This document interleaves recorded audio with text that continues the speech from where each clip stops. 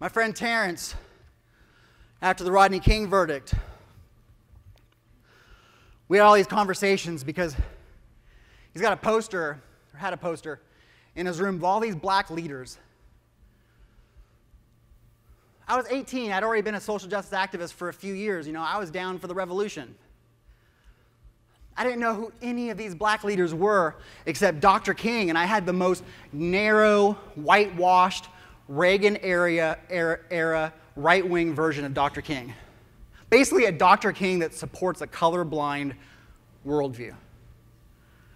And I was like, oh, there's Malcolm X. I've never seen a picture of him, but I think he hates white people. and I'd ask Terrence, I was like, who are these people?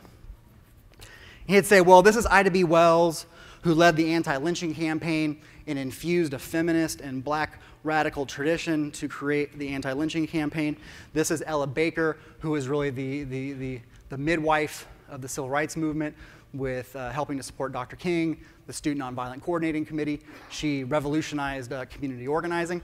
Here's uh, Septima Clark, who was the architect of the citizenship schools that brought together basic democratic voting registration with a profound black freedom vision of transforming power in the society through an empowered electorate that would transform governance.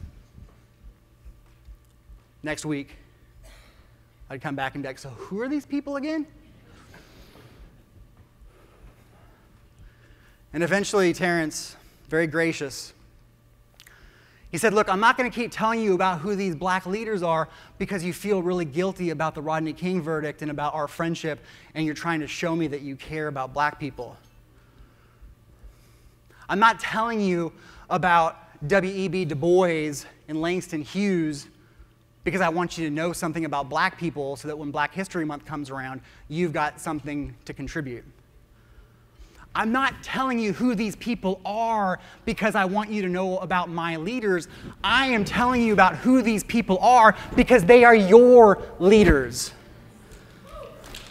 And then he said something that transformed my life. He said, This is one of the ways that white supremacy hurts white people. And I was like, Wait, what? And I didn't say it, I didn't say it, but in my head I was like, But racism's a black problem. He said one of the ways that white supremacy hurts you as a white person is it raises you to both embrace unconsciously a white privilege superiority of thinking of yourself as knowing everything better than everyone else, and so therefore you are forever the one to tell everyone else what's going on, and you have nothing to learn, while simultaneously white supremacy on the daily raises you to be malnourished of the most important democratic movements, democratic values, liberatory visions, and possibilities spoken through poetry, literature, social justice movements of people of color. White supremacy raises white people to be structurally stupid about liberation while superior and feeling forever dominant within this hierarchy that is also killing you too.